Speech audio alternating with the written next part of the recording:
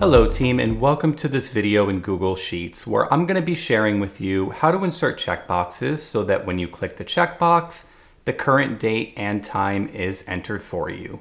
Let's jump in. To begin, let's insert checkboxes into column B. To do that, go to the Insert tab and select Checkbox. Now use the bottom right to drag these down as needed. After the checkboxes have been entered, you want to enter this function into the column where you want the date or time to be displayed. To take a look at how this function works, we start off with the if function, where the logical test is whether or not cell B2 is equal to true, meaning the checkbox is selected. For the value if true, we have a nested if function, where the logical test is whether or not cell C2, where our date and time will be entered, contains any data. For the value if true, meaning cell C2 does contain data already, we just want to return that same value.